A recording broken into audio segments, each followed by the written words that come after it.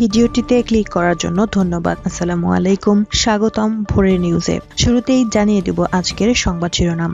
আজকের খবরে জানতে পারবেন ফেসবুকে পোস্ট ডাকু পিপি নূরের বিরুদ্ধে ছাত্রলীগ নেতার মামলা।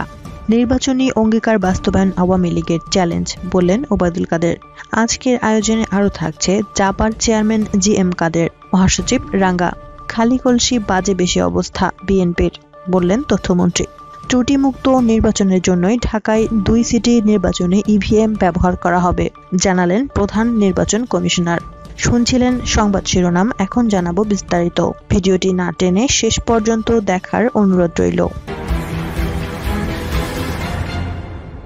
ফেসবুকে পোস্ট ডাকসু ভিপি নূরের বিরুদ্ধে ছাত্রলীগ নেতার মামলা। ঢাকা বিশ্ববিদ্যালয়ের কেন্দ্রীয় ছাত্র সংসদের ভিপি নুরুল হক নূর ও কোটা সংস্কার আন্দোলনের নেতা মোহাম্মদ রাশেদ খানের বিরুদ্ধে মামলা করা হয়েছে। ফেসবুকে মানহানিকর তথ্য প্রচার করার অভিযোগে এই মামলা করা হয়। শনিবার রাজধানীর ধানমন্ডি থানায় ডিজিটাল সিকিউরিটি আইনে মামলাটি করেন ঢাবি ছাত্রলীগের জগন্নাথ হল শাখার প্রচার সম্পাদক অর্ণব। মামলার বিবরণীতে বলা হয়, নূরের ফেসবুক থেকে গুজব ছড়ানো হয়। এই গুজবের কারণে ঢাকা বিশ্ববিদ্যালয় সহ সারা দেশের ছাত্র ছাত্রীদের মাঝে বিভ্রান্ত তৈরি হয়। এছাড়া ঢাকা বিশ্ববিদ্যালয়ের ছাত্রলীগ সভাপতি সঞ্জিত চন্দ্র দাসকে নিয়ে মানহানিকর পোস্ট দেওয়া হয়। উল্লেখ্য, গত বাইশ ডিসেম্বর ডাকসু ভবনের মূল ফটক বন্ধ করে নূরের উপর হামলা করেন মুক্তিযুদ্ধ মঞ্চের নেতাকর্মীরা। একই সঙ্গে তার অনুসারীদেরও পেটানো হয়। ভাঙচুর করা হয় ডাকসু ভবন। হামলায় ছাত্রলীগের নেতাকর্মীরাও অংশ নেন বলে জানা যায়। হামলার পর আহত নূর সহ আঠাশ জনকে ঢাকা মেডিকেল কলেজ হাসপাতালে নেওয়া হয়।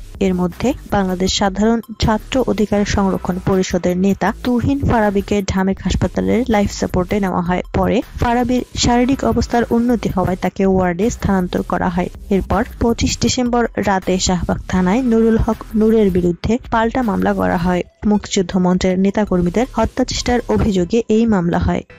জাপার চেয়ারম্যান জি এম কাদের মহাসচিব রাঙ্গা। জাতীয় পার্টির নতুন কমিটির চেয়ারম্যান নির্বাচিত হয়েছেন জি এম কাদের আর মহাসচিব হয়েছেন মশিউর রহমান রাঙ্গা। এছাড়া রওশন ইরশাদকে পার্টির প্রধান পৃষ্ঠপোষক করা হয়েছে। তারা আগামী তিন বছরের জন্য এই দায়িত্ব পেয়েছেন। শনিবার ইঞ্জিনিয়ার্স ইনস্টিটিউট অফ বাংলাদেশে জাতীয় পার্টির নবম সম্মেলনে এই ঘোষণা দেওয়া হয়। এর আগে শনিবার সকাল দশটায় নবম কেন্দ্রীয় কাউন্সিল শুরু হয়। কাউন্সিল উদ্বোধন করেন পার্টির চেয়ারম্যান ও বিরোধী দলীয় উপনেতা জি এম কাদের। জাতীয় পার্টির প্রতিষ্ঠাতা চেয়ারম্যান সাবেক রাষ্ট্রপতি হোসেন মোহাম্মদ এরশাদের মৃত্যুর পর এবারই প্রথম দলটির কাউন্সিল হচ্ছে। এর আগে আটটি কাউন্সিলই হয়েছে এরশাদের জীবদ্দশায় এবং তার উপস্থিতিতে।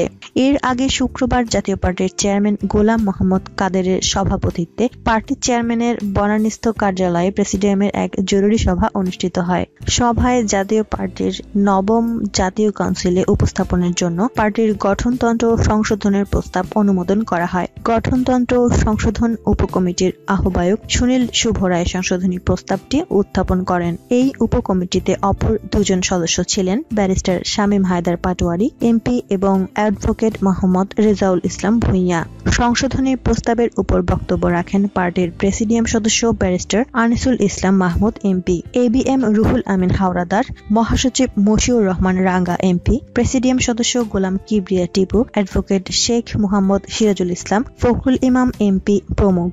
সভায় উত্থাপিত সংশোধনী প্রস্তাবটি সম্মেলনে উপস্থাপনের জন্য অনুমোদন দেওয়া হয়। জাতীয় সম্মেলনে পাশ হলে সংশোধনীর প্রস্তাব জাতীয় পার্টির গঠনতন্ত্রে অন্তর্ভুক্ত হবে। খালি কলসি, বাজে বেশি অবস্থা বিএনপির বললেন তথ্যমন্ত্রী। বিএনপির বেগম খালেদা জিয়াকে মুক্ত করার ও সরকার বিরোধী তুমুল আন্দোলনের ঘোষণাকে খালি কলসি, বাজে বেশি বলে আখ্যা দিয়েছেন তথ্যমন্ত্রী এবং আওয়ামী লীগের যুগ্ম সাধারণ সম্পাদক ডক্টর হাসান মাহমুদ। শনিবার দুপুরে রাজধানীর বঙ্গবন্ধু এভিনিউতে আওয়ামী মুক্তিযোদ্ধা প্রজন্ম লীগের চতুর্থ ত্রিবার্ষিক সম্মেলনে প্রধান অতিথির বক্তব্যে তিনি একথা বলেন। এই সময় তথ্যমন্ত্রী বলেন, বিএনপির তুমুল আন্দোলন আমরা দেখেছি। তাদের যত সমাবেশ, নিজেদের মধ্যে মারামারিও তত। নেতাদের ওপর কর্মীদের আস্থা নেই। যে নেতারা বোরখা পরে আদালতে জামিন নিতে যান, তাদের উপর কর্মীদের আস্থা না থাকাই স্বাভাবিক। তাদের আন্দোলনের ডাক শুনে মনে হয় একেই বলে, খালি কলসি বাজে বেশি। আওয়ামী লীগের যুগ্ম সাধারণ সম্পাদক ডক্টর হাসান আরও বলেন, খালেদা জিয়া কোনো রাজনৈতিক বন্দী নন যে যে তাকে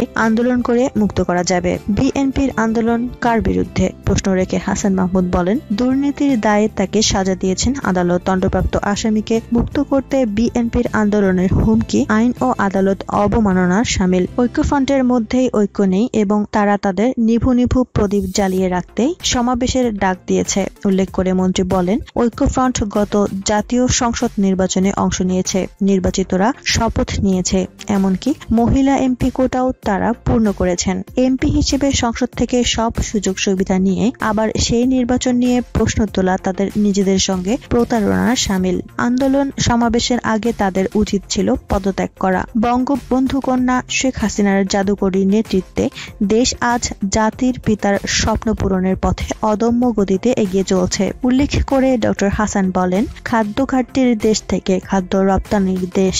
দুর্যোগের সাহায্য গ্রহিতা থেকে সাহায্য প্রদানকারী গত এক দশকে অর্থনৈতিক প্রবৃদ্ধিতে বিশ্বের সর্বোচ্চ দেশে রূপান্তরিত হওয়া, যারা সহ্য করতে পারে না, তারাই দেশের বিরুদ্ধে ষড়যন্ত্রে লিপ্ত। এদের বিষয়ে সতর্ক থাকতে হবে, আওয়ামী লীগের ভ্রাতৃপ্রতিম সংগঠন হিসেবে মুক্তিযোদ্ধা প্রজন্ম লীগকে স্বীকৃতি দেওয়ার জন্য আওয়ামী লীগ সভাপতি শেখ হাসিনাকে অনুরোধ করবেন বলে সম্মেলনে প্রতিশ্রুতি দেন এবং তাদের কার্যক্রমের প্রশংসা করেন তথ্যমন্ত্রী ডক্টর হাসান। আওয়ামী মুক্তিযোদ্ধা প্রজন্ম লীগের সভাপতি মোহাম্মদ আসাদুজ্জামান দুর্জয়ের সভাপতিত্বে সম্মেলনে আওয়ামী লীগের সভাপতি মণ্ডলীর সদস্য শাহজাহান খান, মুক্তিযোদ্ধা প্রজন্ম লীগ উপদেষ্টা সৈয়দা রোকিয়া বেগম প্রমুখ বক্তব্য রাখেন।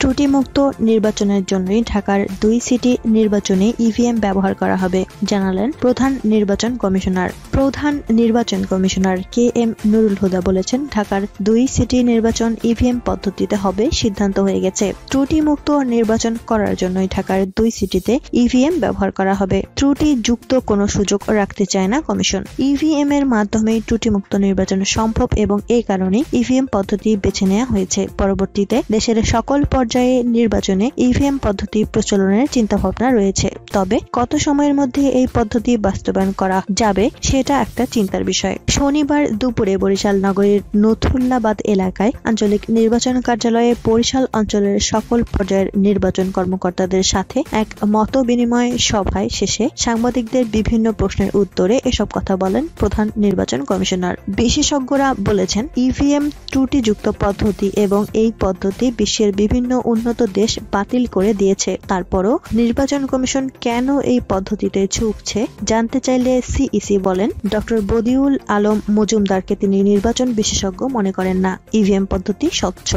এই পদ্ধতিতে একের অধিক ভোট দেওয়ার সুযোগ নেই। একের ভোট অন্য কেউ দিতে পারে না। ঢাকার দুই সিটির নির্বাচন প্রসঙ্গে সিইসি বলেন, ঢাকার দুই সিটি নির্বাচন স্বচ্ছ এবং সুষ্ঠু হবে আশা করে কমিশন। স্বচ্ছ নির্বাচনের পূর্বশর্ত প্রতিযোগিতামূলক এবং প্রতিদ্বন্দ্বিতামূলক নির্বাচন। সব রাজনৈতিক দল অংশ নিলে ঢাকার নির্বাচন সুষ্ঠু হবে বলে মনে করেন তিনি। ঢাকা সিটি নির্বাচনে সেনাবাহিনী মোতায়েনের কোনো পরিকল্পনা আছে কিনা জানতে চাইলে সিইসি বলেন, এই নির্বাচনে সেনাবাহিনীর দরকার নেই। এই নির্বাচন পরিচালনায় পুলিশ, র্যাব, বিজিবি যথেষ্ট। তাদের সেই সামর্থ্য এবং যোগ্যতা আছে। বিগত নির্বাচনগুলোতে ভোট কেন্দ্রে ভোটার উপস্থিতি কম থাকার কারণ জানতে চাইলে সিইসি বলেন, নির্বাচন কমিশন ভোটারদের ভোট কেন্দ্রে আহ্বানকারী। তবে প্রার্থী প্রতিদ্বন্দ্বীদের দায়িত্ব ভোটারদের ভোট কেন্দ্রে নিয়ে যাওয়া। জনগণের আস্থাহীনতা কমাতে নির্বাচন কমিশন কি করবে জানতে চাইলে সিইসি বলেন, কমিশন জনগণকে ভোট কেন্দ্রে যাওয়ার আহ্বান করবে। ভোট পদ্ধতিতে ত্রুটি কখনো ছিল না এবং এখনও নেই বলে বক্তব্যে বলেন তিনি।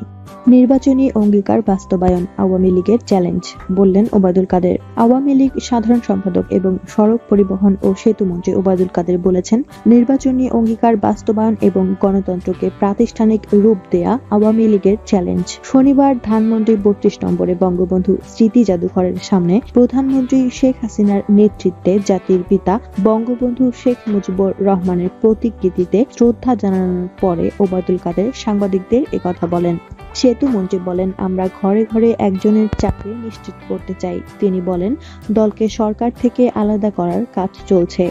আওয়ামী লীগ মনে করে, দল শক্তিশালী হলে সরকারও শক্তিশালী হবে। ঢাকা, উত্তর ও দক্ষিণ সিটি কর্পোরেশনের নির্বাচনী সুষ্ঠু পরিবেশ নিয়ে বিএনপির অভিযোগ প্রসঙ্গে ওবাদুল কাদের বলেন, অভিযোগ করাই হলো বিএনপির কাজ। সিটি কর্পোরেশন নির্বাচন সুষ্ঠু হবে, এটা জেনেও তারা অভিযোগ করছে। কাদের বলেন, ডিজিটাল যুগে ইভিএম ব্যবহারের যৌক্তিকতা রয়েছে। পার্শ্ববর্তী দেশ ভারতে অনেক বিতর্কের পরও নির্বাচন হয়েছে ইলেকট্রনিক ভোটিং মেশিন দিয়ে বলে জানান তিনি। দুর্যোগপূর্ণ আবহাওয়ার কারণে গোপালগঞ্জের টুঙ্গিপাড়ার সফর আপাতত স্থগিত করা হয়েছে বলেও জানান তিনি। কাদের বলেন, নবগঠিত কমিটির যৌথ সভা তিন জানুয়ারি, তেইশ বঙ্গবন্ধু এভিনিউ অনুষ্ঠিত হবে। ওই দিনই সিদ্ধান্ত হবে টুঙ্গিপাড়া সফর কবে হবে। এ সময় আওয়ামী লীগের উপদেষ্টা পরিষদের সদস্য আমির হোসেন আমু, তোফায়েল আহমেদ মুজফর হোসেন পল্টু প্রেসিডিয়াম সদস্য শেখ ফজলুল করিম সেলিম, কর্নেল অবসরপ্রাপ্ত মোহাম্মদ ফারুক খান, আওয়ামী লীগের যুগ্ম সাধারণ সম্পাদক ও তথ্যমন্ত্রী